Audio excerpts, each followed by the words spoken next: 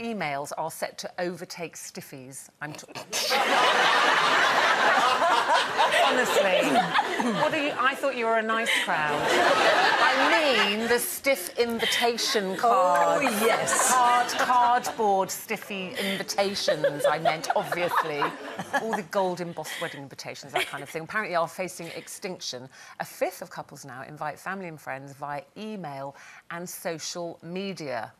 Hmm, so, inbox rather than postbox now, it seems. Would you like getting a, a wedding invite by email? It's wrong.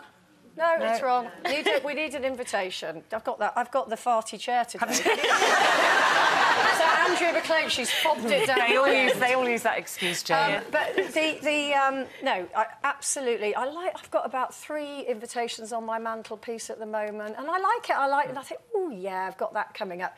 An email, no. And some people invite people to their wedding by text. Oh my I think that's to the wedding. Are you sure? Yeah, well, that's what yeah, it says. says it does say. I By noticed that a lot of the um, like big social occasions now come in by email, and I don't like that so much. I'm, I'm with I'm with Jane actually. I do love a proper invitation. We're old-fashioned, aren't we, Yeah, Gloria? we are old-fashioned, and I am the age I am. I know, uh, but you know, I have an old invitation that actually came um, to do with the Princess Diana. Uh, event and I cannot throw that away. It's not exactly displayed on the mantelpiece. It's just tucked a little bit behind the mirror, so that people take it out and go, "Oh, Princess Diana." It is, there is a bit of showing off, isn't there? If you've got some fancy schmancy invitation, you can prop up Yeah. somewhere. And Jane's got say- three in her mantelpiece, and I've only got one. I must But say, not I'm from not, I'm anything not- to do with the royal family, though. yeah. You've had a royal one, though, Um, you? I have, I have. I've had, um, I've had a, um, an invite for, uh, for St James's Palace, and after I went, which you know was brilliant, um, I had it in my garage, and my mum was absolutely furious. She was like, "This has got to be mounted," and she put it in a frame and all sorts.